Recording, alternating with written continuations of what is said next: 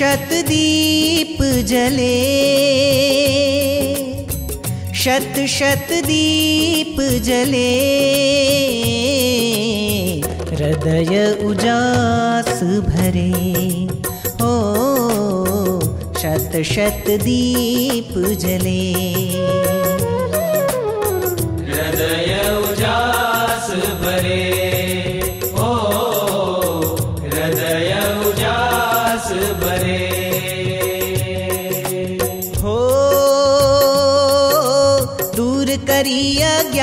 ज्ञान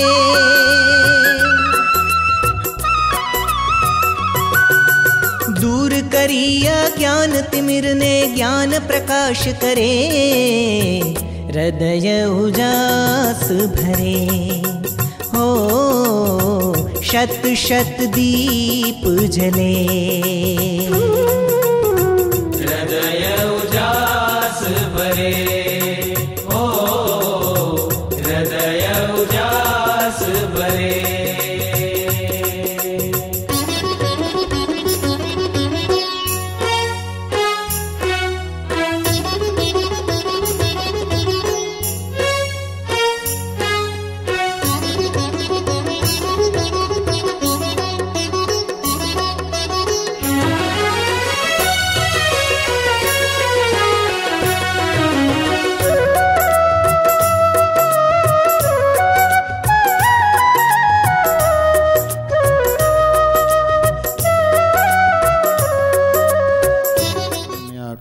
કૌશળ દેશ વેશ બટુનો લઈ તીર્થમાં ઈ ફર્યા.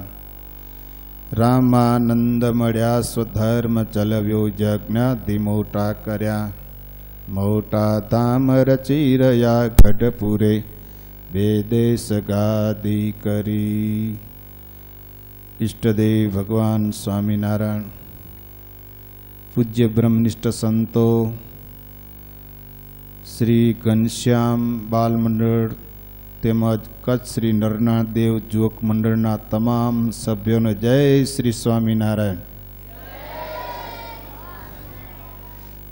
ભક્તજનો, આજથી આપણી શિબિરનો પ્રારંભ થાય છે. એ શિબિરમાં રહી અને આપણા ઈષ્ટદેવ ભગવાન સ્વામિનારાયણ જે બાલપણમાં એટલે કે જ્યારે ભગવાન તમારા જેવડા હતા, ત્યારે છપૈયામાં રહીને શું શું લીલા ચરિત્ર કર્યા. પછી જ્યારે ભગવાન મોટા થયા અગિયાર વર્ષના, ત્યારે ભગવાને શું કર્યું તમને ખબર હે? શું કર્યું? હા, ઘરનો ત્યાગ કરીને વન વિચરણ કર્યું. છોકરાઓ, અત્યારે તમને કોઈ એમ કે તમે એકલા ઇન્ડિયા જાઓ તો તમે જઈ શકો? ના જઈ શકો શું?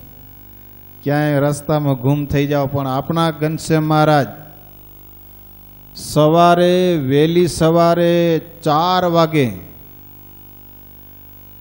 જે એમના ભાઈ રામ પ્રતાપ ઈચ્છારામ સુવાસની ભાભી, વિરિયારી ભાભી, આ બધાને સૂતા મૂકી અને મહારાજ સરજુ કિનારે ત્યાં કને ગયા. સરજુ કિનારે જઈ સરજુ મૈયાને નમસ્કાર કરીને ત્યાં કને ઊભા અને ત્યાં કને આવીને એક અસુર ભગવાનને પાણીમાં ધક્કો માર્યો. એ ધક્કો માર્યો, ભગવાન પાણીમાં તણાતા તણાતા ક્યાંય સુધી નીકળી ગયા હો. ભગવાન જ્યારે વન વિચરણ કરવા માટેનો વિચાર કર્યો, ત્યારે ભગવાનનો વેશ કેવો હતો? નીલકંઠ વનડીનો વેશ હતો. ભગવાનની પાસે અગિયારવાના ભગવાન પોતે ઘરેથી લઈ અને નીકળ્યા હતા. પણ જ્યારે સરજુ નદીમાં પેલા અસુરે ધક્કો દીધો અને એ અગિયારવાના ભગવાનના પાણીમાં તણાઈ ગયા, એમાં માત્ર શું બચ્યું? એક શાલિગ્રામનો બટવો, ચાર સારનો ગુટકો, આટલા ભગવાન પાસે બચ્યા, બાકી બધું તણાઈ ગયું. પછી ભગવાને વિચાર કર્યો કે શરૂઆતમાં જ આવું થયું છે એટલે વાંધો નથી. સરજુ નદી પાર કરી અને ભગવાન વનની વાત લીધી છે ભક્તો, એ ભગવાનને મનમાં એવો સંકલ્પ થયો કે મારા ભક્તો, નાના નાના બાળકો, એ બિચારા દુખી છે. એમને હું ત્યાં કને જઈ મારા સ્વરૂપનું જ્ઞાન કરાવીને સુખી કરીશ. ભક્તો તે વખતે હિમાલયમાં તમારા જેવા નાના નાના બાળકો બહુ હતા. ભગવાને વિચાર કર્યો કે આ જંગલમાં જેટલા બાળકો છે એને બાળકોને મળી મારા સ્વરૂપનું જ્ઞાન આપી અને એવા બાળકોને સંસ્કારી કરવા છે કે એ જિંદગીમાં પણ કીધી દુઃખી ન થાય, એવા સંસ્કારી કરવા છે અને પછી ભગવાન ક્યાં આવ્યા? વન વિચરણ કરીને પોરબારા કચ્છમાં આવ્યા હો, કચ્છમાં. કચ્છમાં આવીને પછી કચ્છના બાળકોને બધાને ગોત્યા કે મારા ભક્તો, નાનકડા બાળકો ક્યાં છે? તમે બધા કચ્છના છો ને? હે? કચ્છના છો કે કેન્યાના છો? કેન્યાના છો કે મૂળ તો તમે મારા કચ્છના છો? કેન્યામાં તમારો બોન થયો એટલે થઈ ગયા. કેન્યાના પણ બાપ દાદાઓ તમારા બધા કચ્છના છે ને આપણે કચ્છના છે એમ ગૌરવ રાખવાનો. આપણો દેશ ભારત દેશ છે, બહુ મહાન દેશ છે, પવિત્ર દેશ છે. જે ભારત દેશમાં મોટા મોટા ઋષિ મુનિઓ છે, જે ભારત દેશમાં ભગવાનના અવતારો પ્રગટ થાય છે અને જે દેશમાં જે પવિત્ર નદીઓ, ગંગા, જમુના, આવી મહાન પવિત્ર નદીઓ છે, એ દેશના આપણે બધાએ વાસીઓ છીએ, તો એ દેશમાં રહી અને આપણે ગૌરવ રાખવો જોઈએ કે અમે ભારત દેશના છીએ. એમાંય પણ કચ્છના છીએ અને કચ્છના હરિભક્તોને માટે શ્રીજી મહારાજે નરનારાયણ દેવ પધરાવી આપ્યા. તમને ખબર હે? આપણા ભુજમાં મુખ્ય દેવ કોણ છે? તમને ખબર નથી ને છો ઘનશ્યામના બાળકો વેલા. ઘનશ્યામ બાલ મંડળ છે ને તમારું? કચ્છ નરનાદેવ યુવક મંડળ છે ને? કે નથી? કોઈને ખબર નથી. કચ્છમાં મુખ્ય દેવ કોણ છે? કચ્છમાં મુખ્ય દેવ કોણ છે? ભુજમાં મુખ્ય દેવ કોણ છે? નરનારાયણ દેવની એ મારા નથી બોલતા. બધા નથી બોલતા. ખબર નહીં શું એ તમે નરનાળ દેવના નથી? તો પછી જય કેમ નથી બોલતા? તમને કેમ ખબર નથી કે ભુજમાં મુખ્ય નરનારાયણ દેવ છે? આપણે બધા નરનારાયણ દેવના આશ્રિત છીએ. તમે મોટા થાશો, પછી બધા નરનારાયણ દેવને માનશો કે જ્યાં ભાગશો? હે? નરનાળ દેવના થઈને રહેશો ને? હમણાંથી છોકરા એવું નક્કી કરી લેજો. કે આપણે શ્રીજી મહારાજે અમારા માટે જે નરનારાયણ દેવ પધરાવ્યા છે, તો એ નરનારાયણ દેવના થઈને આપણે રહેશું, એમની આજ્ઞામાં રહેશું, અને એ નરનારાયણ દેવના જે સંતો જેમ આપણે કહેશે, એ પ્રમાણે આપણે કરશું, તો આપણે સુખી થશું ભક્તજનો. અમે પણ ભગવાનની પાસે એવી પ્રાર્થના કરીએ કે એ અમારા નાનકડા નાનકડા બાળકો છે, એમાં પ્રભુ આપ એવા છોકરા ઉપર દયા કરજો કે ભણી ગણીને હોશિયાર થાય, સત્સંગ સારો રાખે, સવારે ઉઠીને ભગવાનની પૂજા કરે અને આપણા જે નરનાણ દેવ એના વફાદાર થઈને રહે અને સારા પૈસાદાર થાય, કમાઈ અને ખૂબ સુખિયા થાય. તમે બધાને પૈસાદાર થવું કે નથી થવું? પછી પૈસાદાર થઈને મોટા થશો, પછી દારૂ પીશો કે નહીં પીવો? પછી તમાકુ ખાશો કે નહીં ખાઓ? પબમાં જાશો કે નહીં જાઓ? પબમાં જાશો એમ? તો ભલે મારા બેટા, તો પબમાં નહીં જાઓ તો ભગવાન પાસે પ્રાર્થના કરશું. પછી પબમાં હાલા જાઓ અને ખૂણે ખાંચે જ્યાં તો સીસા ઉલારો, તો મેળ ન ખાય. તો ભક્તજનો, જ્યારે આપણું શિબિરનો પ્રારંભ થઈ ચૂક્યો છે, તો જે જે સ્વામી તમને શીખાડે, એ ધ્યાનથી શીખજો, નોટબુકમાં નોંધ કરજો. અને તમને બહુ કામ આવશે અને ભગવાન તમને સદાયને માટે સુખ્યા કરે એવી શ્રી નરનાળ દેવના ચરણોમાં પ્રાર્થનાની સાથે સૌને જય શ્રી સ્વામિનારાયણ. લખતા આવજો, તો અત્યારે એકદમ શાંતિ જરાય કોઈ અવાજ નહીં કરી અને આપણે પક્ષનું પ્રેઝન્ટેશન નહીં કરવાનું છે કે સત્સંગની અંદર આપણે પક્ષ કેવો રાખવો જોઈએ અને કોનો રાખવો જોઈએ એ વિશે આપણે અહીંયા કને પ્રેઝન્ટેશન કરીશું અને એ પ્રેઝન્ટેશન આપને પરમ પૂજ્ય શાસ્ત્રી સ્વામી શ્રી નારાયણ મુનિદાસ સ્વામી અહીં આવી અને આપને એ પ્રેઝન્ટેશન અહીં કરાવશે.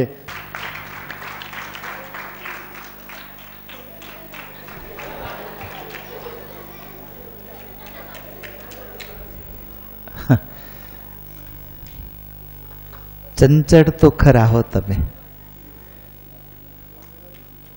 તમને ખબર છે? ચંચળ હોય એને શું કહેવાય? વાંદરું હોય ને વાંદરું, એ ક્યારે સરખું બેસી ન શકે. એક મદારી હતો મદારી. પછી પોતાની પાસે એક વાંદરું હતું. એ વાંદરું લઈ દુકાનવાળા પાસે ગયો કે આ વાંદરા માટે કંઈક પૈસા આપને કે એને ખવડાવવું છે કે? એટલે દુકાનદારે એમ કહ્યું કે, જો ભાઈ, તને વાંદરા માટે, ખાવા માટે પૈસા જોતા હોય ને તો તને સો રૂપિયા આપો કે. પણ માત્ર એક જ મિનિટ આમ વાંદરાને શાંતિથી બેસાડી દે, જોઈ કે. એટલે ઓલા મધારી તો ટેસ્ટમાં આવી ગયો કે, એક જ મિનિટ શાંતિથી બેસાડવો અને સો રૂપિયા મળી જતા હોય તો શું વાંધો કે? એટલે એને તો વાંદરાને તરત ડાયરેક્શન આપી દીધું. ચૂપ, શાંત થઈ જા પ્લીઝ સાયલેન્ટ કે. એટલે વાંદરું આમ શાંતિથી બેસી ગયું. પણ એ ત્રીસ સેકન્ડ થઈ અને વરી મંડ્યું ખંજોરવા. બરાબર તને કીધું ને શાંત થઈ જા. વરી ત્રીસ સેકન્ડ સેકન્ડ થઈ. વરી બીજી કોર આમ ડોક્યા તાણવા એક કલાક મહેનત કરી, પણ એ વાંદરું એક મિનિટ શાંત રહી શક્યું નહીં. એટલું બધું ચંચળ વાંદરું હતું. તો જે શાંત ન રહી શકે, ચંચળ હોય, એને શું કહેવાય?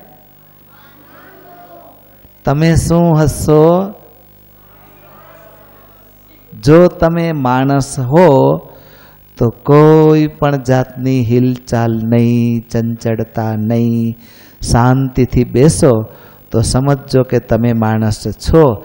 અને જો તમે ખીચો ખીચો કર્યા કરશો, તો તમે વાંદરાની ગણતરીમાં આવી જાશો મિત્રો.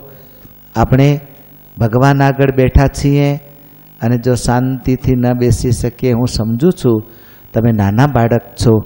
છતાં બી આપણે થોડુંક અનુસંધાન રાખવું જોઈએ કે આપણે ક્યાં બેઠા છીએ. ભગવાન આગળ બેઠા છીએ. અને જો ભગવાન આગળ બેઠા પછી પણ આપણે જો શિસ્તમાં ન આવીએ ને તો આપણામાં ઘણી બધી ખામી કહેવાય. મિત્રો, તમે આજે અહીં બાલ યુવક મંડળની એક શિબિર સ્વરૂપે અહીં એકત્રિત થયા છો. શિબિર, એની અંદર તમે શિબિરમાં અહીં આવ્યા છો તો માત્ર ને માત્ર ભેળા થવા માટે નહીં. માત્ર ને માત્ર એકબીજા ફ્રેન્ડ સર્કલને કારણે નહીં. પણ આમાંથી આપણે એક નવું જ કંઈક સર્જન અને નવું જ કંઈક શિક્ષણ લેવાનું હોય છે. વધારે નહીં, તો એટલું તો લેવું જ જોઈએ. કારણ કે આ શિબિર એ બીજું નથી, પણ એક નાની સૂની સત્સંગની ટ્રેનિંગ સેન્ટર કેવું હોય ને તો કહી શકાય. આમાંથી આપણે એવા તૈયાર થવા જોઈએ કે અહીંથી ગયા પછી એકાદ વાત તો આપણે શીખી જ ગયા હોવા જોઈએ. તમારી આગળ અત્યારે જે વાત કરવાની છે એ વાત છે પક્ષની. કદાચ હું સમજુ છું એ રીતે તમે પક્ષ એટલે શું એ તમને ખબર પણ હશે અને જો ન ખબર હોય તો ધ્યાનથી સાંભળજો, તમને ખ્યાલ આવી જશે. પહેલું વાક્ય છે પક્ષ એટલે શું? તમે વાંચી શકો છો. પહેલો એની અંદર શબ્દ છે વફાદારી. બીજો છે પોતાપણું. અને ત્રીજું છે આત્મીયતા. તમે સ્કૂલની અંદર ભણતા હો. બે ભાઈ સાથે સ્કૂલમાં હોય. અને એમાંથી એક ભાઈને કોઈ દબાવતો હોય. એક ભાઈને કોઈ હેરાન પરેશાન કરતો હોય અને તમે એમને જોતા રહો, એ યોગ્ય કહેવાય કે અયોગ્ય કહેવાય? એમાંય મોટા ભાઈ મોટો ભાઈ જોતો હોય અને એને, એના નાના ભાઈને કોઈ દબાવતો હોય કે પરેશાન કરતો હોય અને જો એ મોટો ભાઈ એમને એમ જોઈ રહે તો મોટા ભાઈને પોતાના નાના ભાઈ પ્રત્યે ભાઈની ભાવના જ નથી અને એને ભાઈને પ્રત્યે વફાદારી યા આત્મીયતા નથી. આત્મીયતા એટલે સમજો તમે? આત્મીયતાનો અર્થ બીજો પોતાપણું. પોતાપણું એટલે કે તમારું શરીર છે. તમારું શરીર છે. એ તમારું શરીર છે, તમે એને પોતાનું માનીને કર્યું, રાખ્યું છે, એટલે એને કોઈ દુખી કરે, કોઈ ચોટ્યું ભરાવે, કોઈ ફૂટી મારે કે કોઈ ગાળ દે, તો તમે એને સહન કરી શકો નહીં. શું કામ? તમે એને પોતાપણું માન્યું છે. તમે એની સાથે આત્મીયતા ભાવથી બંધાયા છો. એ જ રીતે આપણે સત્સંગની અંદર પક્ષ એટલે આત્મીયતાપણું.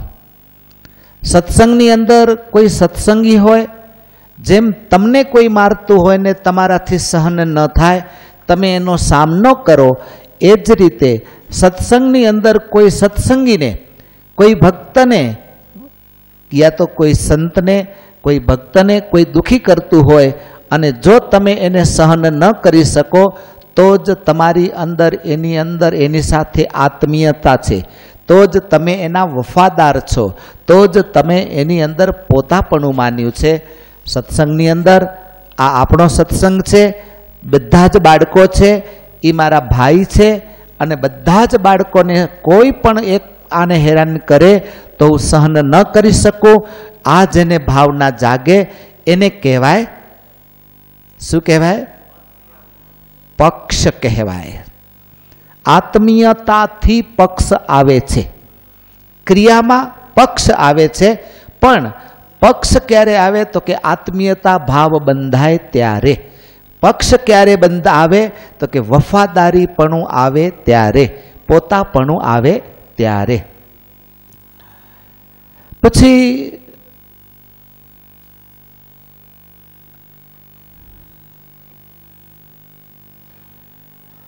હા.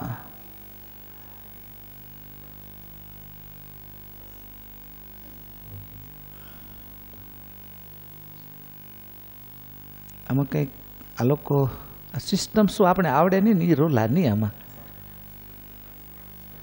મને બતાડી ગયો તો કે આમ આવશે, આમ એ નહીં થઈ. બરાબર. પછી,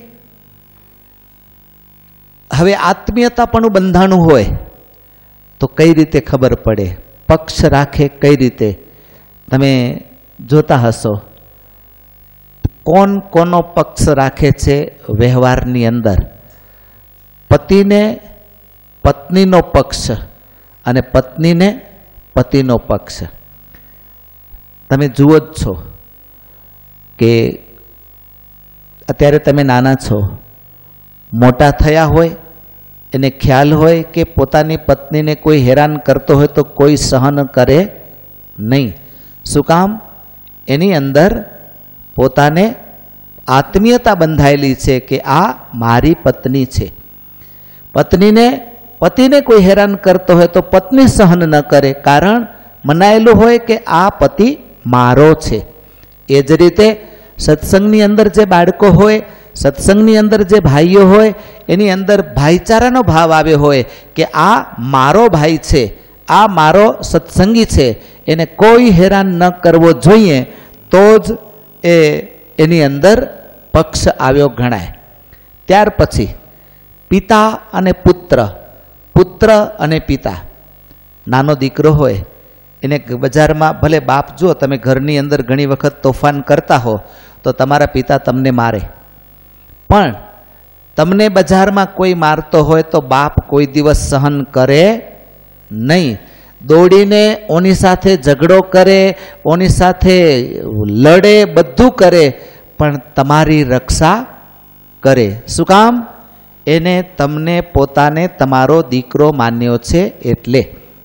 એ જ રીતે પુત્રને પિતાનો પક્ષ રાખવો જોઈએ.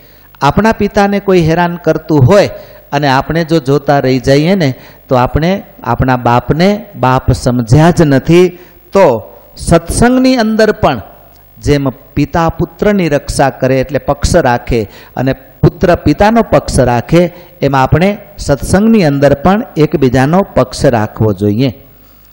અને પછી માત્ર એટલેથી સંતોષ નથી થતો, ઘરનો, ગામનો અને દેશનો. ઘરનો પક્ષ આપણા ઘરનું કોઈ ખરાબ બોલતો હોય, આપણા ઘરની કોઈ બારે ખરાબ વાતો કરતો હોય, અને એને આપણે જો સહન ન કરીએ, એને જડબા તોડ જવાબ આપીએ, તો ઘરનો પક્ષ રાખ્યો કહેવાય. આપણું ગામનું કોઈ વાંકું બોલતો હોય. કોઈ એમ કે કે તમારું ગામ તો સાવ ગંદુ છે, તમારું ગામ તો સાવ આવું છે, તમારું ગામ તો સાવ ચાલુ છે. ચાલુ કેનું ગામ કે? ના. તો આપણા ગામની કોઈ નિંદા કરતો હોય અને જો આપણે સહન કરી લઈએ, તો આપણે આપણા ગામ પ્રત્યે પણ વફાદારી નથી. અને તે જ રીતે દેશનું. આપણા દેશનું કોઈ વાંકું બોલે અને જો આપણે દેશભક્ત હોઈએ અને જો સહન કરી લઈએ, તો દેશભક્ત ન કહેવાઈએ. એ જ રીતે આપણું મંદિર હોય તમે જે મંદિરમાં બેઠા હો, જે મંદિરની અંદર આવજાવ કરતા હો, અને એ મંદિરનું કોઈ વાંકું બોલે, અને તો તમે તમે જો સહન કરી લો ને, તો મંદિરના પણ વફાદાર કહેવાઓ નહીં. એટલે મિત્રો, આપણે પક્ષ આટલા રાખવા જોઈએ, પણ એમાં અત્યારે જે આપણે વાત કરવાની છે, એ સત્સંગના પક્ષની વાત કરવાની છે. ઉપરનો જે પક્ષ આવ્યો એ સાંસારિક પક્ષ છે, અને આ બધોય સંબંધનો પક્ષ છે. એ સંબંધનો પક્ષ, મિત્રો, હું તમને એમ નથી કહેતો કે છોડવો જોઈએ. સંબંધનો પક્ષ રાખે ને, એ જ સત્સંગનો પક્ષ રાખી શકે. પણ આ સત્સંગનો પક્ષ આપણે મોક્ષ સુધી લઈ જનારો છે માટે સત્સંગનો પક્ષ અવશ્ય રાખવો.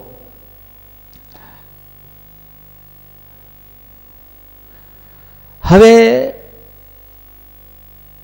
સાચો પક્ષ કોને કહેવાય કે? પહેલો પક્ષ હતો એ સાંસારિક હતો. ખોટો નહોતો પણ સાંસારિક હતો. સાંસારિક પક્ષ ક્યારેક ધોખો દે. એ તમને ખ્યાલ હશે. ઘણી વખત તમે બધા નાના છો, એટલે તમને ખબર ન હોય, પણ મોટા થઈ ગયા હોય અને એમાંય ક્યાંક લફરામાં પડી ગયા હોય, પછી એને મનમાં એમ માન્યું હોય કે આ તો અમારા જ છે અને એ બે ત્રણ જગ્યાએ કામ ચાલુ હોય એના. આપણે ધોખો દઈ દે, એ સાંસારિક પક્ષ છે. પણ સાચો પક્ષ કયો કહેવાય? સાચો પક્ષ કહેવાય ભગવાન, સંત અને ભક્તનો, હો. ભગવાનનો પક્ષ રાખે, સંતનો પક્ષ રાખે અને ભક્તનો પક્ષ રાખે ને, તો એ પક્ષ કેવો કહેવાય? સાચો કહેવાય. અને સાચો પક્ષ જે રાખે, એના ઉપર ભગવાન રાજી થાય. હવે આપણે આવીએ કે સાચા પક્ષથી થતા ફાયદા. આમાં ભગવાન સ્વામિનારાયણ જે વચન બોલ્યા છે, એ વચન તમારી આગળ વ્યક્ત કરેલા છે. વચનામૃત, ગઢડા મધ્ય પ્રકરણનું સાઠમું વચનામૃત. જે ભગવાનનો ભક્ત હોય ને તેને કોઈક મારી નાખતો હોય, અથવા તેને કોઈ દુઃખ દેતો હોય ને તે ભગવાનના ભક્ત આડો જઈને મરે કે ઘાયલ થાય, તો શાસ્ત્રમાં એમ કહ્યું છે જે,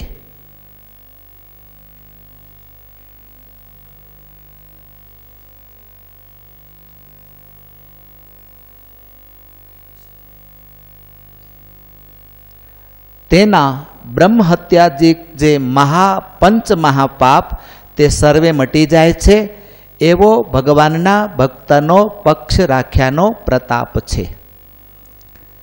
જુઓ, તમને પંચ મહાપાપની હજી સુધી ખબર નહીં હોય કદાચ.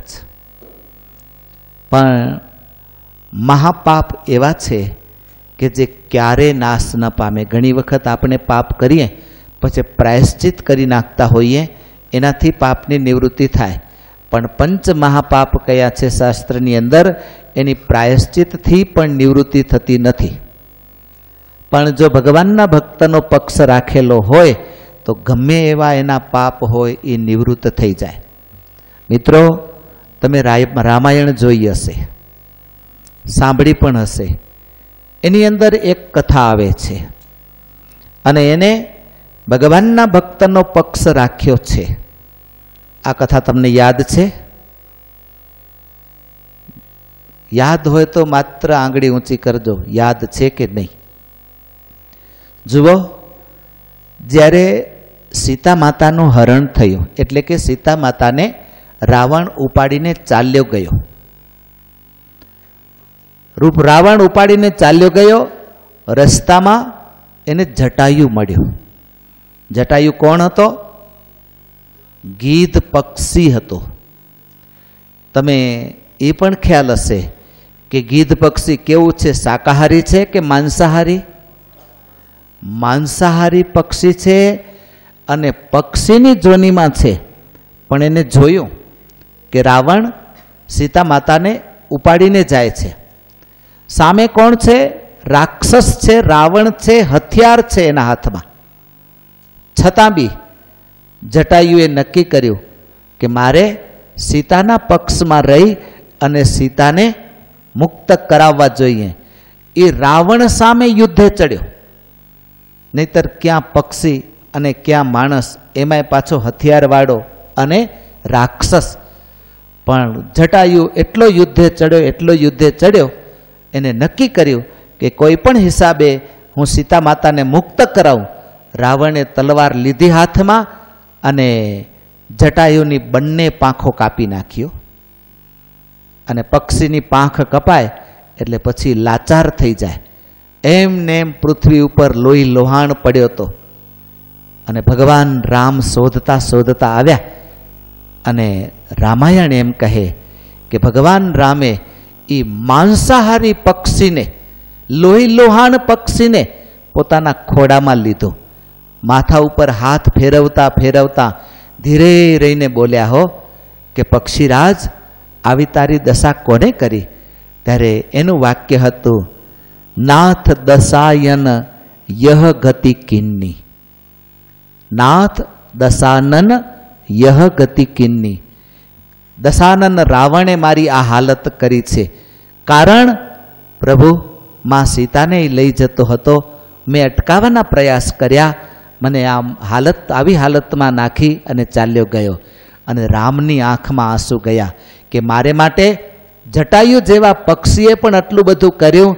અને રામાયણ સાક્ષી પૂરે કે ભગવાન રામ એના બાપને પણ અગ્નિ સંસ્કાર ન આપ્યો. એ ભગવાન રામે જંગલમાંથી લાકડાઓ ભેરા કરી કોઈ પક્ષીને અગ્નિ સંસ્કાર ન અપાણો હોય એ રીતે વિધિસહ એ જટાયુ પક્ષીને અગ્નિ સંસ્કાર કર્યો. આટલો આટલો એના કોઈ માંસ ખાતો તો એ પણ ન જોયું, એના પાપ કર્મ પણ ન જોયા, કાંઈ ન જોયું. આ વચનામૃતમાં એ જ વાત લખી કે ભગવાનના ભક્તની આ કોઈ દુઃખી કરતો હોય અને એને આડો જઈને મરે અથવા ઘાયલ થાય. આ ઘા ગીધ શું કર્યું? ભગવાનના ભક્તના પક્ષ રાખી અને ઘાયલ થયો. છેલ્લી બાકી પોતાના પ્રાણ પણ છોડ્યા. ત્યારે ભગવાન ખુદ એને ખોડામાં લઈ લીધો અને એના પાપ બધા જ દૂર કરી નાખ્યા. એમ વાલા ભક્તજનો, આપણે માનવ છીએ. આ જન્મના નહીં, અનેક જન્મના આપણા પાપો હશે, દુષ્કર્મો હશે. પણ જો સાચા ભગવાનના ભક્ત હોઈએ ને, તો ભગવાન એના ભક્તના પક્ષ રાખવાના ફળ રૂપે, ભગવાન પોતાના ભક્તના પક્ષના ફળ રૂપે આપણા કોઈ કર્મ સામું જોશે નહીં અને આપણા બધા જ કર્મથી આપણે મુક્ત કરી દેશે. હમ. પછી છે પક્ષ રહે કેમ કે? પક્ષ પક્ષ પક્ષ વાત કરતા આવતા હોઈએ. પક્ષ રહે કેમ?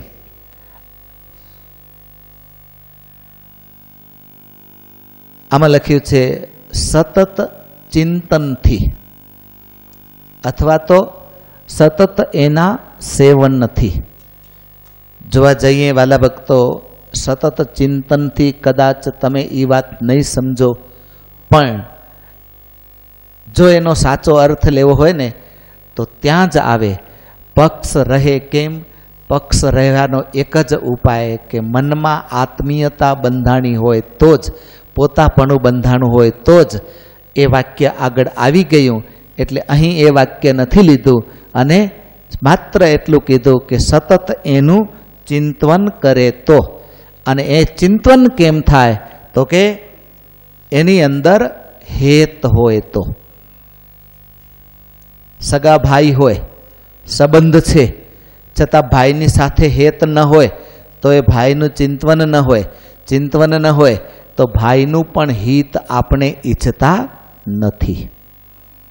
એ જ રીતે જો આપણે એની સાથે, એટલે કે ભગવાન સાથે, ભગવાનના સંત સાથે અને ભગવાનના ભક્ત સાથે હેત રાખ્યું હોય અને હેત એવું બંધાઈ ગયું હોય કે એને કોઈ દુઃખી કરે તો સહન ન થાય, તો જ એનું પક્ષ રહે છે.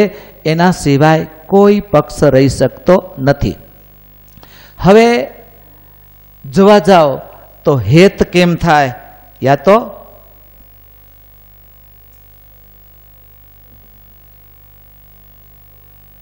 હમ. પક્ષ કેમ રહે? સંબંધ હેત કેમ બંધાય? જેમ સંબંધીમાં હેત છે, તેનો પક્ષ સહજે રહે છે. તેમ ભગવાન અને સંતમાં હેત થાય, તો તેનો પક્ષ પણ સહજે રહે. હેત કઈ રીતે થાય? ત્યાં પ્રશ્ન હોય. કાંઈ પણ વસ્તુ છે ને, કાંઈ પણ વસ્તુ, એનો તમે મહિમા સમજો, તો એની અંદર તમને હેત થાય. એની તમે કિંમત સમજો, તો તમને હેત થાય. મા બાપનો તમે મહિમા સમજ્યા છો, એની અંદર હેત છે. મા બાપ દીકરાનો મહિમા સમજ્યા છે, તો એની અંદર એને હેત છે. એ જ રીતે વસ્તુનું મહિમા તમે સમજો. જેમ કે તમારા હાથમાં સોનાનું લૂસ પહેર્યું હોય, તો તમને સોનાની કિંમતની ખબર છે. તો તમને એની અંદર હેત બંધાય છે. અને હેત બંધાવાને કારણે તમે એને સાચવી રાખો છો, એને ગુમ થવા નથી દેતા, એના માટે બધા જ પ્રયાસ કરો છો.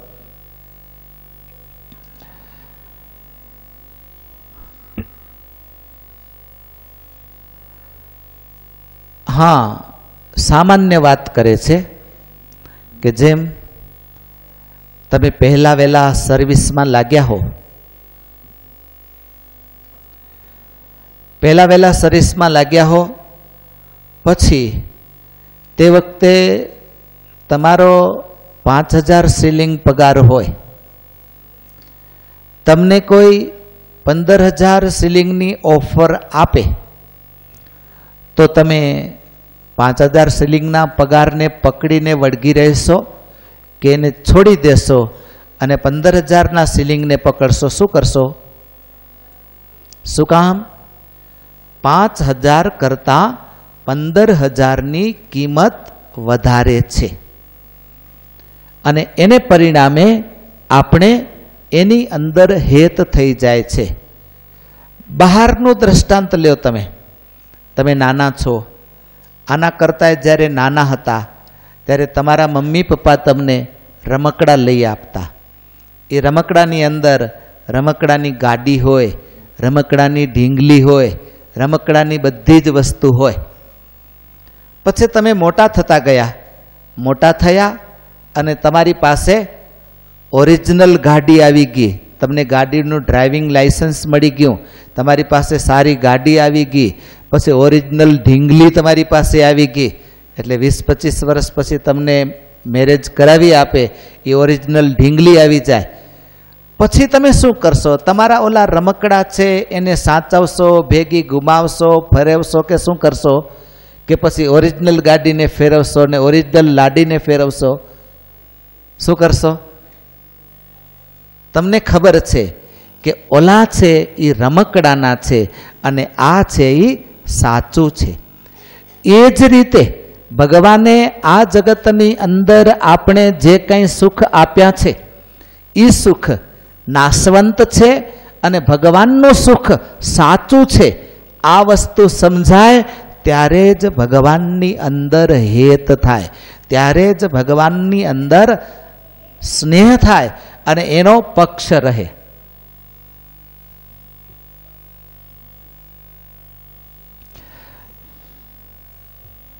પછી મુદ્દો છે, હેત કેમ થાય?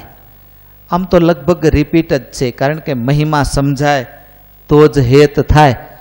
મહિમાથી, સંત સમાગમથી આત્મા અનાત્માના વિવેક સમજાય છે અને હેત થાય છે. આપણે પહેલાં કહી ગયા એ પ્રમાણે જ કે જે વસ્તુ સાચી છે અને જે વસ્તુ નાશવંત છે, એ બે વસ્તુ સમજાય, ત્યારે જ એની અંદર હેત થાય.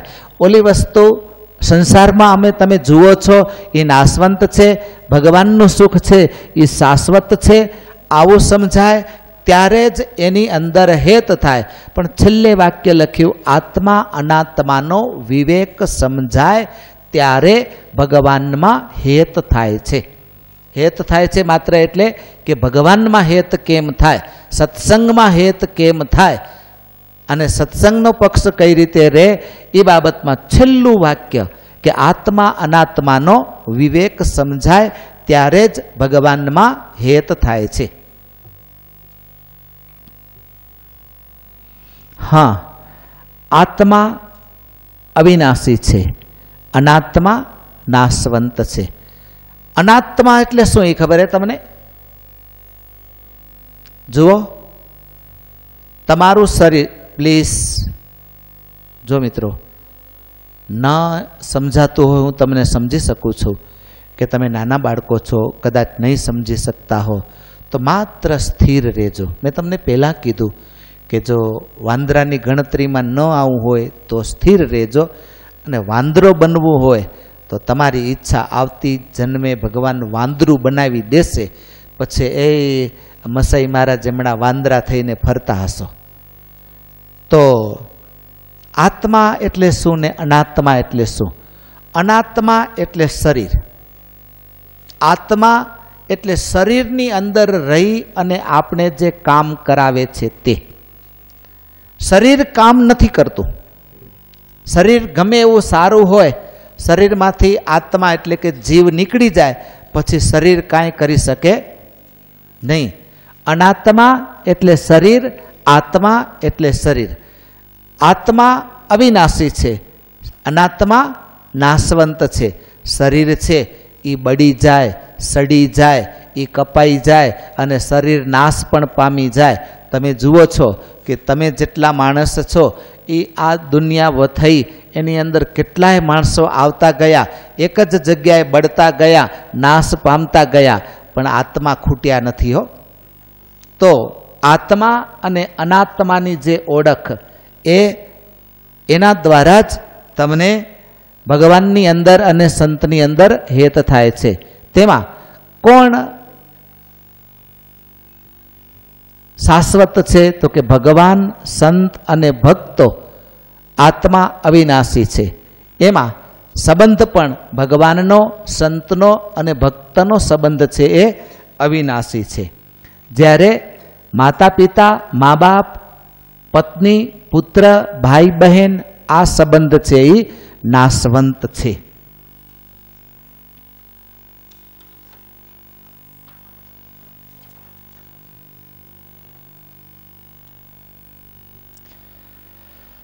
પક્ષ, એમાં સાચો પક્ષ અને ખોટો પક્ષ. સાચો પક્ષ નબળો હોય તો શું કરશો? મીન્સ કે આપણા અંતરની અંદર આપણે પક્ષ તો રાખતા હોઈએ, એમાં પણ સાચા પક્ષમાં આપણે નબળા હોઈએ તો તો કે આપણી સમૃદ્ધ શ્રદ્ધાથી પક્ષને સબડો બનાવી શકાય છે. ભગવાનની અંદર પૂરેપૂરો શ્રદ્ધા અને વિશ્વાસ હોય. સંત ઉપર પૂરેપૂરી શ્રદ્ધા અને વિશ્વાસ હોય. કે પછી શાસ્ત્રની અંદર, ધર્મની અંદર પૂરેપૂરો ભક્તની અંદર પૂરેપૂરી શ્રદ્ધા અને વિશ્વાસ હોય, તો આપણો પક્ષ દિવસે દિવસે સમૃદ્ધ બનતો જાય છે. એક શ્રદ્ધાને કારણે ક્યાં સુધી પહોંચે છે વસ્તુ? કે નિર્જીવ વસ્તુ હોવા છતાં પણ શ્રદ્ધા તમારી હોય ને, તો એ સજીવ જેટલું કામ કરે છે. પુરાવા માટે તમારી આગળ મહાભારતના એકલવ્ય પાસે લઈ જાય છે. મહાભારતનો એકલવ્ય. ગુરુદ્રોણ પાસે જાય વિદ્યા અભ્યાસની યાચના કરે ગુરુદ્રોણ એને ના કહી દે અને એકલવ્ય માટીનું પૂતળું બનાવે અને એને પૂછી પૂછીને બાણ વિદ્યા શીખે, તો અર્જુન કરતાં પણ બાણાવડી, મહાબાણાવડી એકલવ્ય બની જાય. એ જ રીતે આપણે ભગવાનના ભક્ત છીએ. આપણે આપણા દરરોજ ભગવાનની મૂર્તિની પૂજા કરીએ છીએ. અને એ મૂર્તિને તમે પૂછી પૂછી, એ મૂર્તિની આરાધના કરી, એ મૂર્તિ ઉપર વિશ્વાસ કરીને, યા તો જે મંદિરની અંદર તમે દર્શન કરો છો, એ મૂર્તિ ઉપર પૂરેપૂરી શ્રદ્ધા દ્વારા એની આરાધના કરતા હો, તો એ જ મૂર્તિ તમારી સાથે પ્રત્યક્ષ બોલતી થઈ જાય. એ જ મૂર્તિ તમારી બધી જ ઈચ્છાઓ પૂર્તિ કરતી થઈ જાય અને એ જ મૂર્તિ દ્વારા તમે જે ઈચ્છો એ મેળવી શકો. જો એકલવ્ય બાણાવડી બની શકતો હોય માટીના પૂતળાથી, તો આપણે જે મૂર્તિની પ્રતિષ્ઠા કરી છે, જે મૂર્તિની અંદર ભગવાનની આહ્વાન કર્યું છે, એ મૂર્તિની તમે આરાધના કરો. એ ભગવાનની કે સંતની તમે આરાધના કરો ને, તો તમારી પણ જે પક્ષ છે એ નબળો હોવા છતાં પણ સબળો બની શકે છે અને તમે ધારો એ કર્મ કરી શકો છો. હવે આવે છે પક્ષ પક્ષ વાત કરો તો પક્ષ બદલાવાય કે ન બદલાવાય? જુઓ મિત્રો, વારે વારે જે ઠેકાણા બદલતા હોય ને, એનો કોઈ વિશ્વાસ ન કરે. અને ત્યાં સુધી કે જે પક્ષ પલટો કરતો હોય, વારંવાર પલટી ખાઈ જતો હોય, એ માણસ ઠેકાણા વિનાનો કહેવાય. એ માણસ મગજ ફરેલ કહેવાય. પક્ષ બદલી શકાય કે નહીં, તો મનમાં એક વાત દ્રઢ કરી રાખજો. ક્યારે ન બદલી શકાય? કઈ રીતે? કોઈ એમ કે કે મને મારા મા બાપ બદલવા છે, તો તમે બદલી શકો? કારણ કે માત પિતાથી તમારો જન્મ થયો છે. માત પિતાથી જન્મ થયો છે, તમે ગમે એટલા મોટા થાઓ, તમારી પાસે ગમે એટલી સંપત્તિ આવે, તમે ભલે દુનિયાના રાજા થઈ જાઓ તો એ મા બાપના તો દીકરાને દીકરા જ રહ્યો. અને તમને પૂછે તો સીધું એમ પૂછે કે કોનો દીકરો છે? કોનો રાજા છે એ પૂછે એના કરતાં કોનો દીકરો છે? એટલે તમને તમારા મા બાપનું જ નામ લેવું પડે. જેમ મા બાપ ન બદલી શકાય, એમ ક્યારેય પણ પક્ષ પલટો કરી શકાય નહીં. ક્યારે પણ પક્ષને બદલાવી શકાય નહીં. અહીં ઉદાહરણ આપ્યું છે પ્રભાશંકર પટણી. ભાવનગરના મંત્રી છે. અને કદાચ એના જીવનની અંદર એવું આવ્યું હશે કે પોતે જે પક્ષમાં રહ્યા હશે, જે રાજાના પક્ષમાં રહ્યા હશે, પછી ઘણી બધી મુશ્કેલીઓ આવી હશે. કદાચ ત્યાં સુધી આવી હોય કે એને ગરબાર કરી મૂકવામાં આવ્યા હોય, છતાં પણ પક્ષ એ પક્ષ છે, બદલે નહીં. એમ આપણે પક્ષ રાખવાની વાત આવે છે, તો પક્ષ ક્યારે પણ બદલી શકાય નહીં. પક્ષ પલટો કરી શકાય નહીં.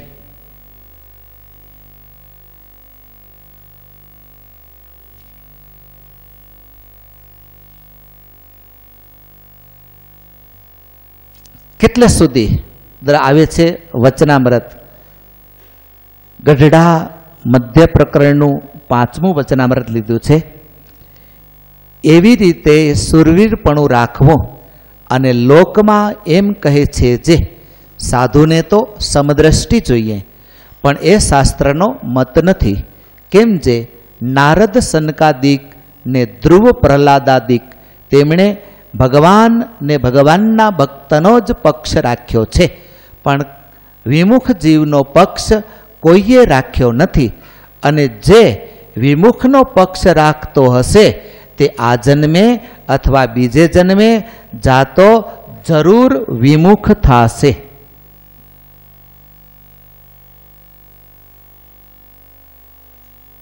હમ. હવે જુઓ. મહારાજ તો ત્યાં સુધી પહોંચ્યા છે કે અમારે તો સમદ્રષ્ટિ જોઈએ. ઘણા લોકો એમ કહેતા હતા, આપણે તો સમદ્રષ્ટિ છે. કોઈનો પક્ષ રાખવો, કોઈનો ન રાખવો.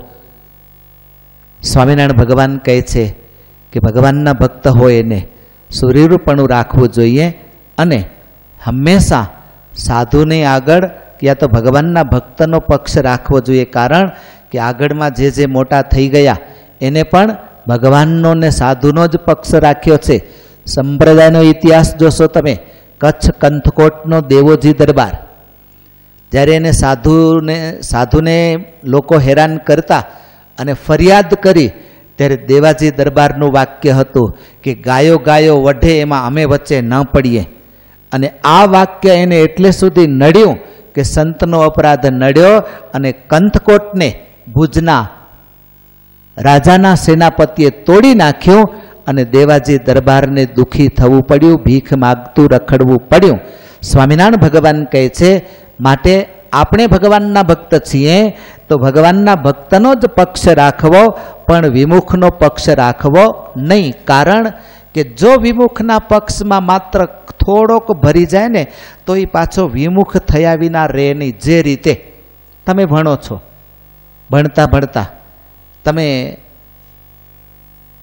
ડિગ્રીની લાઈનની અંદર પ્રવેશ કરો, હોશિયાર છો, અને મેડિકલની અંદર તમને એડમિશન મળી ગયું. યા તો એન્જિનિયરિંગની અંદર તમને એડમિશન મળી ગયું.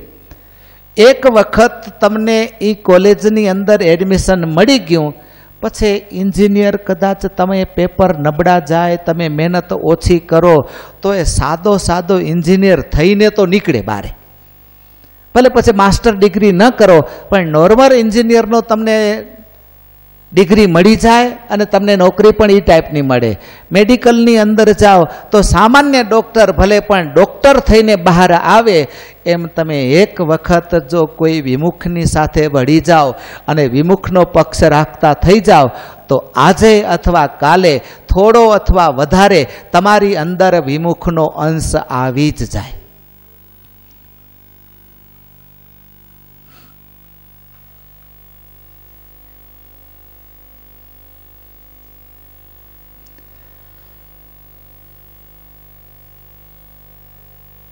માટે જે ભગવાનના ભક્ત હોય તેને જરૂર ભગવદીયનો પક્ષ રાખવો જોઈએ અને વિમુખના, વિમુખનો પક્ષ ત્યાગ્યો જોઈએ.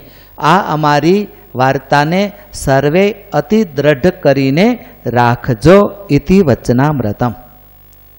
તો વાલા ભક્તો, વાલા મિત્રો, પક્ષની બાબતમાં ભગવાન સ્વામિનારાયણ એમ કહે કે માટે ભગવાનના ભક્તનો જ પક્ષ રાખવો.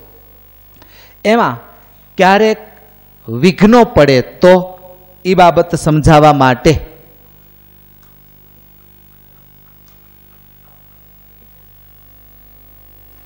પક્ષમાં સાવધાન.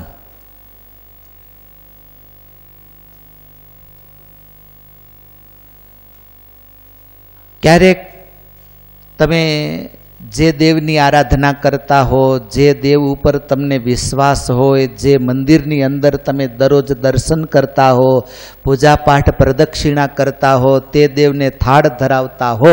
અને એનો તમે પક્ષ રાખીને બેઠા હો. એમ કરતાં કરતાં પાસ થયા, બધું થયું. પછી નોકરી ન મળે એટલે મનમાં એમ થઈ જાય કે આટલા દિવસ થયા ભગવાનને યાદ કરું છું આટલા દિવસ થયા સત્સંગ કરું છું આટલા દિવસ થયા માડા માનસી પૂજા કરું છું, હેરાન થાવ છું ને મને નોકરી મળતી નથી. હવે ભગવાન ચેન્જ કરી નાખો. આટલા દિવસ આ મંદિરે જતો હતો હવે આ મંદિરે જઈશ તો એ પક્ષ ન કહેવાય.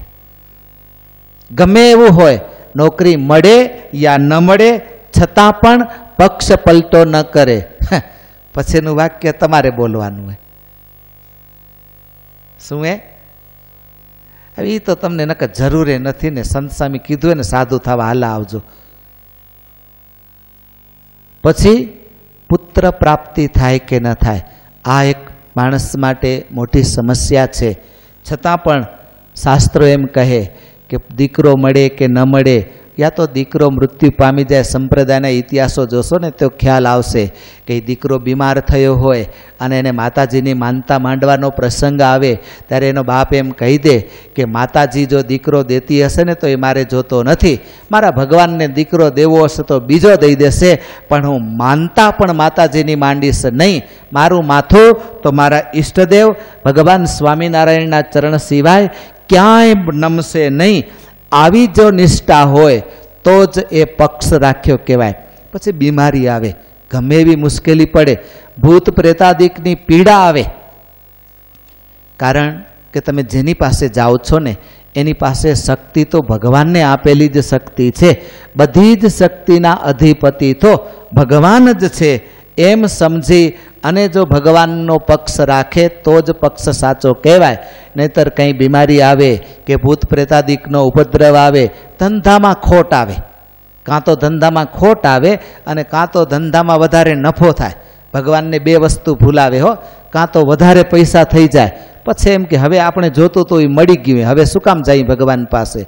અને કાં તો ધંધામાં ખોટ આવે, એટલે પછી ભગવાનને ગાળો દે કે આટલા દિવસ તારી પાસે આવતો, આટલા દિવસ ભજન ભક્તિ કરતો, એનું ફળ તો તે મને આટલું જ આપ્યું ને. તો પછી અતિ નફો થાય, જો આવી ગયું, ધંધામાં ખોટ આવે અથવા અતિ નફો થાય. અને પછી અતિ સન્માન થાય અને અતિ અપમાન થાય.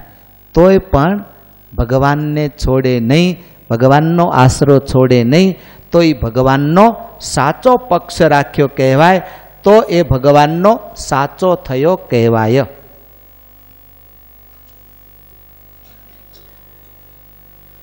પછી પક્ષમાં ધર્મવાહકોના આવા નિર્ણયો હોય, એટલે કે તમે જે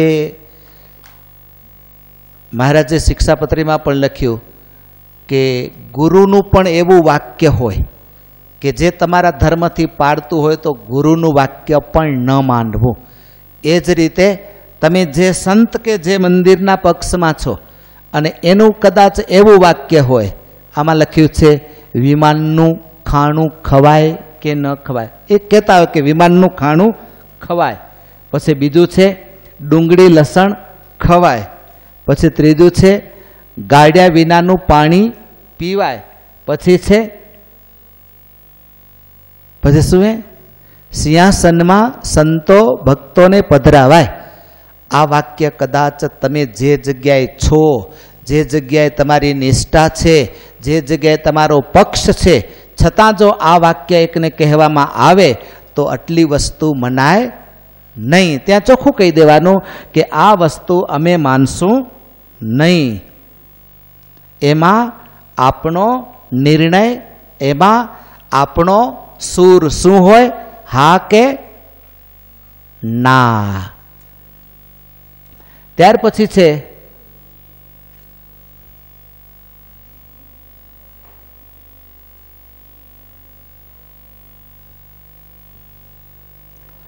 પક્ષ જોઈએ આવો. અપમાન થાય છતાં પણ પક્ષ ન છોડે. કોણ કોણ હતા? તો કે ગંગામાં. જેતલપુરનો તમને પ્રસંગ બધાને ખબર છે કે જેને ભગવાન સ્વામિનારાયણમાં કહેતા અને આખું મકાન મંદિર બનાવવા માટે આપી દીધું. એક ઓરડી પોતાની રાખી હતી. મહારાજની આજ્ઞાથી સંતોએ એ ઓરડીને તોડીને જમીન ધ્વસ્ત કરી નાખી અને જ્યારે એ ગંગામાં અમદાવાદથી આવ્યા, સંતોને ગાળો દેવા લાગ્યા, જેમ એમ બોલવા લાગ્યા, એ ગામનો વૈરાગી હતો. એ આવી અને જ્યારે એને સપોર્ટ કરવા લાગ્યો, ત્યારે ગંગામાએ ઈંટ ઉપાડીને કહ્યું કે, મારા દીકરાને હું ગમે એમ કહું. મારા દીકરાને લાડુએ આપું, રોટલાએ આપું અને ગાળોએ આપું. તું કહેવાવાળો કોણ? એવો પક્ષ રાખવો કે જેવો ગંગામાએ રાખ્યો હતો. ક્યારેક આપણે સત્સંગમાં છઈએ મંદિરમાં છઈએ આપણી વાત રે, ન રે, આપણું કોઈક અપમાન કરી નાખે અને સામેનો હોય તરત આવીને કહે કે, જોયું આટલા દિવસ થયા તું મંદિરમાં હતો, તારું શું રહ્યું? ચાલને રવાનો થઈ જા. ત્યારે એને કહી દેવું કે, તું કહેવાવાળો કોણ? હું મારા ઘરમાં છું. મંદિર મારું છે. સભા સત્સંગીઓ મારા છે. એ મારે માટે મારા ભાઈઓ છે. પરમ ચૈતન્યાનંદ સ્વામી મહારાજે અપમાન કર્યું. અને સભામાંથી માનની મૂર્તિ કીધીને ચાલતા થઈ ગયા. પચીસ શિષ્યો એમની સાથે જવા તૈયાર થયા. ત્યારે પરમ ચૈતન્યાનંદ સ્વામીએ શિષ્યોને કહ્યું કે, મોક્ષ હું નહીં આપું. મોક્ષ જોઈતો હોય તો સ્વામિનારાયણ ભગવાનની પાસે છે. અને પોતે નીકળી ગયા. છતાં બી પોતાના પચીસ શિષ્યોને મહારાજની પાસે જ મૂકતા ગયા અને માંગરોળના આણંદજીભાઈ સંઘાડિયા. મહારાજે હરિભક્તોને કહેવડાવી દીધું હતું કે બધાએ આને હડકૂતી કહેજો, આવવા ન દેજો. છતાં બી સત્સંગ છોડ્યો નહીં. માનુકવાના અદોભાઈ તમને ખ્યાલ છે એ કૃષ્ણજી અને મૂળજીની સેવા કરી હતી. મહારાજે ચિઠ્ઠી મોકલાવી કે જે કૃષ્ણજીને મૂળજીની સેવા કરે વિમુખ, આમાં નામ નથી, ઉપરથી બોલું છું. અને પછી મહારાજ માનુકવા આવ્યા, અદાજીભાઈ ના આવ્યા બધાએ બારે બેઠા હતા. પગરખાં સાફ કરતા હતા. અને મહારાજે પૂછ્યું કે, ક્યાં ગયા આદોભાઈ અને કહ્યું કે, તમે એને વિમુખ કર્યા છે. મહારાજે બોલાવ્યા અને ભેટી પડ્યા હો. ગમે એવું માન અપમાન થાય, છતાં બી જો ભગવાનને ન છોડે, ભગવાનના પક્ષને ન છોડે, તો આવો પક્ષ આપણે પણ સત્સંગની અંદર રાખવો જોઈએ. પક્ષ રાખતા સંબંધીઓ અવરોધ આવે તો, સંબંધીઓનો અવરોધ આવે તો. એટલે કે પક્ષ રાખવા જતા હોવ અને સંબંધીઓ તમને વારે, સંબંધીઓ તમને એમાં ના કે તો શું કરશો? સંબંધીઓ કરતાં પક્ષને મહત્ત્વ આપવું. કારણ કે એવા પક્ષવાળા ભક્તો સંબંધીઓનો ત્યાગ કરવામાં પણ અચકાયા નથી. તો કોણ કોણ અચકાયા નથી? એ જોઈએ હવે. પહેલો, ભરતે પોતાની માતાનો ત્યાગ રાખ, કર્યો. ભગવાન રામનો પક્ષ રાખવામાં પોતાની માતા કઈ કઈ વિરોધમાં હતી તો માતાને કહી દીધું કે આજથી તું મારી માતા નહીં. ભગવાનનો પક્ષ રાખવામાં પ્રહલાદને એના પિતા હિરણકશિપુ નડ્યો તો એને પોતાના પિતા હિરણકશિપુનો પણ ત્યાગ કર્યો. વિભીષણનો ભાઈ રાવણ રામના પક્ષ માટે રાવણ અવરોધરૂપ હતો, તો પોતાના ભાઈને રામના હાથે મરાવીને પણ રામથી રાવણથી પોતે છૂટા રહ્યા. અને સંપ્રદાયનો પ્રસિદ્ધ ઇતિહાસ ઝીણાભાઈ, કે પોતે કમળસિંહ ભક્તને તેડીને લાવ્યા હતા અને એને માથામાં માથું દુખતું હતું અને રાઈ અને હૂંઠનો લેપ કરવો હતો. અને રાઈ અને હૂંઠ પોતાની બેન અદીબેન પાસે માગી અને બેને કહ્યું કે, નથી ઘરમાં. મનમાં એમ કે, આવા તો ઘણાને તેડીને લાવશે. કેટલાની સેવા કરશું? અંતમાં બે દિવસ પછી પોતે માથો દુખાવાનો ઢોંગ કર્યો અને બેન રાઈ અને સૂંઠ બે વાટી તૈયાર કરીને લાવ્યા. અને એટલું જ કીધું ઝીણાભાઈએ કે બે દિવસ પહેલાં કમળસિંહ ભક્ત માટે રાઈ અને સૂંઠ જોતા હતા. એ નહોતા ને આજે ક્યાંથી આવ્યા? ત્યારે અદીએ કીધું કે બધું ઘરમાં હતું. આ તો મને મનમાં એમ કે જો આમને આમ સેવા કરીશ, તો તું તો આવા તો કેટલાય ખાટલા લઈ આવીશ. એટલે એટલા માટે ન આપ્યું. અને ઝીણાભાઈએ તે જ દિવસે કહી દીધું કે તું તો આજથી મારી બેન નહીં. ભગવાનના ભક્તની સેવામાં જો અવરોધરૂપ થતી હોય, ભગવાનના ભક્તની સેવામાં મને વિઘ્ન કરનારી થતી હોય, તો તું મારી બેન નહીં બેનનો પણ ત્યાગ કર્યો. અને સંપ્રદાયનો બીજો ઇતિહાસ, રાજાભાઈ પોતાની પત્નીનો ત્યાગ કર્યો. ખોરાસા ગામ પોતે ખેતીનો ધંધો કરે, ગામમાં સંતો આવ્યા, ખબર પડી અને વાડીએ જતા હશે. તો બાજુના ઘરના માણસ ગામમાં હશે, પાણી લેવા ગયા હશે અને એને માત્ર કીધું કે ઘરે જઈને એટલું કહી દેજો કે મંદિરમાં લોટ પોચતો કરી દે. અને આ ઘરવાળાને ખીજ ચડી. એને ઓલા ઘરે કેવા ગયા કે તમારા પતિએ કીધું છે, લોટ પોચતો કરી દેજો. અને આને તો ગાળો દીધી કે આવા તો કેટલાય હાલ્યા આવશે. આપણે કેટલાને સંભાળી લેવી? ઉ બેન બિચારા પોતાને ઘરે હાલે ગયા. લોટ તૈયાર કરીને ઘરે આપી આવ્યા. સાંજ પડી. રાજાભાઈ આવ્યા. પૂછ્યું કે કેમ લોટ ઘરેથી ગયો તો કે નહીં?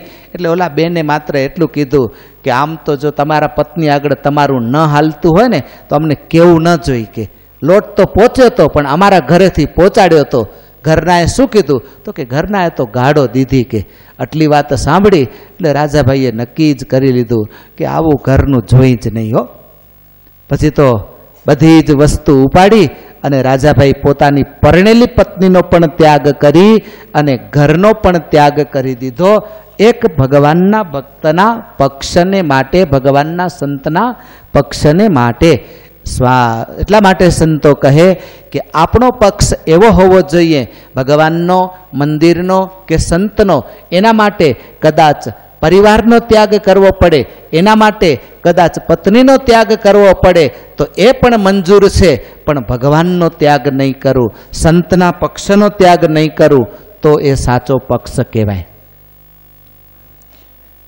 પછી, જેનો પક્ષ રાખશો, એ જ તમારી સહાયતામાં આવશે. પુરાવા તરીકે પાંડવોએ પ્રભુનો પક્ષ રાખ્યો, પ્રભુએ એની સહાયતા કરી. જુઓ, મહાભારતનું યુદ્ધ થયું. એના સિવાય કેટલી જગ્યાએ પાંડવોને મુશ્કેલી પડી, પણ એક ભગવાનનો પક્ષ રાખીને બેઠા હતા, તો ભગવાને એની બધી જ જગ્યાએ રક્ષા કરી. સંપ્રદાયનો બીજો પક્ષ, દાદા ખાચરે પ્રભુનો પક્ષ રાખ્યો, તો ભગવાને દાદાની સહાયતા કરી.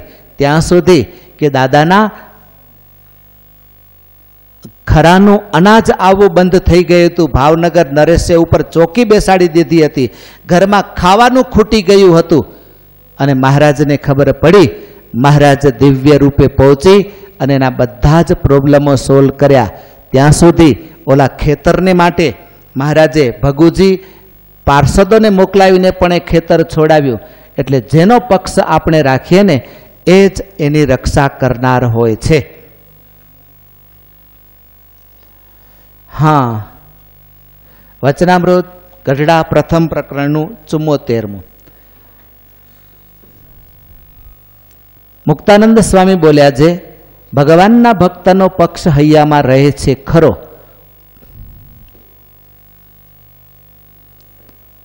પણ સમજીને રહે છે જે, જો સત્સંગનું ઉત્કર્ષપણું હોય, તો ઘણા જીવને સમાસ થાય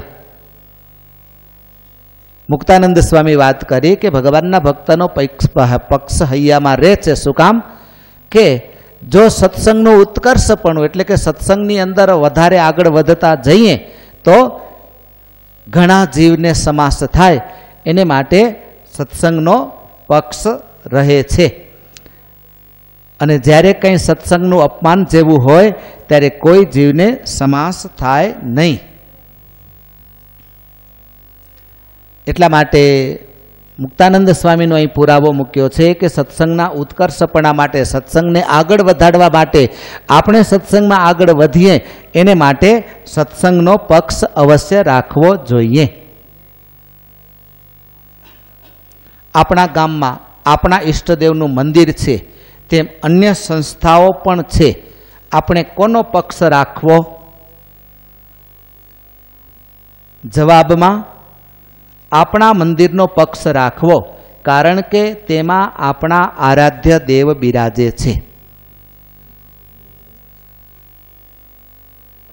હવે છેલ્લે, કોને કોને પક્ષ રાખ્યા છે? એની થોડી કથાઓ જો કે ઘણી કથાઓ થઈ ગઈ છે. એટલે વધારે ડિટેલમાં નહીં જઈએ. ડિટેલમાં જશું તો ખૂટશે પણ નહીં.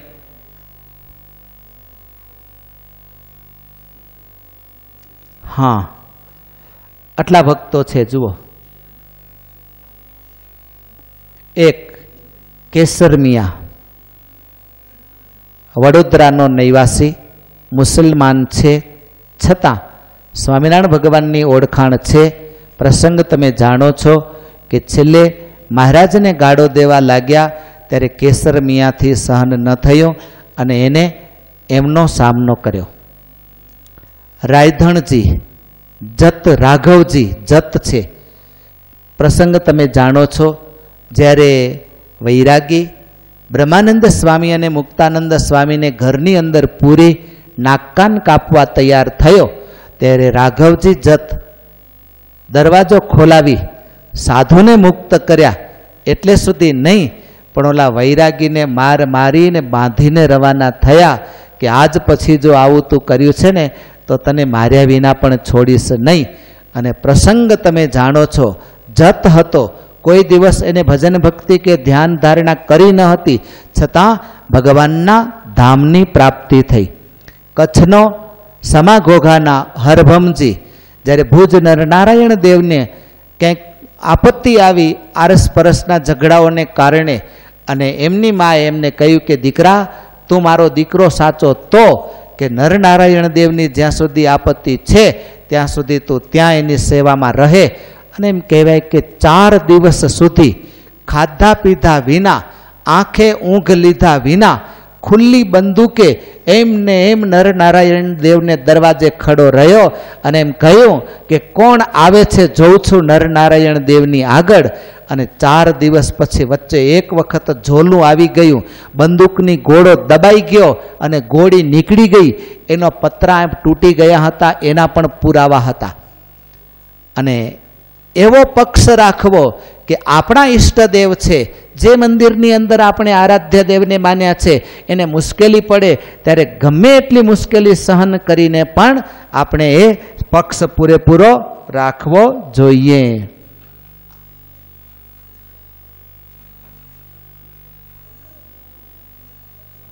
છેલ્લું રહી ગયું છે. ગુંદાડી ગામના બે હરિભક્ત. પ્રસંગ યાદ છે. માના સાધુ આવ્યા હતા અને ઉપવાસ હતો, સંતોને ખીચડી જમવા આપી હતી અને માના સાધુને ખાવા ન આપ્યું અને ગામના વડીલે એમને બારે કાઢી મૂક્યા. અંતે માના સાધુ જાણી ગામના વડીલોની સાથે યુદ્ધ કર્યું અને આખું ગામ એની વાસે થયું. ઘવાયા, મરણ પામ્યા. ત્યારે ભગવાન સ્વામિનારાયણ પાણી લઈને આવ્યા હો. પાણી પાયું અને પોતાના ધામમાં તેડી ગયા. એટલા માટે વાલા ભક્તો આપણે સત્સંગી છીએ સત્સંગની અંદર અતિ સમજવાની ને અતિ પાયાની વાત હોય તો પક્ષ છે. જો તમે પક્ષ નહીં રાખી શકો ને પક્ષ પલટા કરતા રહેશો, તો સત્સંગની દ્રઢતા નહીં આવે, સત્સંગનું બળ પણ નહીં આવે અને સત્સંગનું બળ નહીં આવે ને તો આપણે આગળ વધશું નહીં. તો વાલા મિત્રો, વધારે નહીં. આજના દિવસે તમારી આગળ આપણે પક્ષ કેવો રાખવો જોઈએ? કોનો રાખવો જોઈએ અને પક્ષ રાખવાથી શું શું ફાયદા થાય છે એના દ્રષ્ટાંતો સહ વાત કરી. અત્યારે આ વાતને અહીં વિરામ આપીશ. સજાનંદ સ્વામી મહારાજની. આ મંદિરના હોલની અંદર ચારે બાજુને એક એક ખૂણો લઈ લે. એમાં આ ખૂણાની અંદર બેસશે મુક્તાનંદ. યાદ રાખજો, પહેલા ખૂણામાં બેસશે બ્રહ્માનંદ ત્રીજા ખૂણામાં બેસે પ્રેમાનંદ અને આ ખૂણામાં બેસે દેવાનંદ. ચારે ખૂણા પકડી અને ગ્રુપ ચર્ચા કરવા માટે બેસી જવાનું અને ભૂમાનંદ, નિષ્કુળાનંદ મંજુ કેશાનંદ અને દયાનંદ આ જે ચાર ગ્રુપ છે બહેનોના સાઈડનો જે હોલ છે, એની અંદર ચારે ખૂણા પકડી લે, એમાં ભૂમાનંદ આ પકડે એટલે કે બહેનોની સાઈડની અંદર જે આ સાઈડનો ખૂણો છે સામે સાઈડનો ખૂણો નિષ્કુળાનંદ સ્વામી એની સામેનો મંજુકેશાનંદ સ્વામી અને આ બાજુનો બહેનોની સાઈડની અંદર દયાનંદ ગ્રુપવાળા આ ચારે ચાર ગ્રુપવાળા આ ચારે ખૂણા પકડી અને ગ્રુપ ચર્ચા કરવા માટે બેસી જાય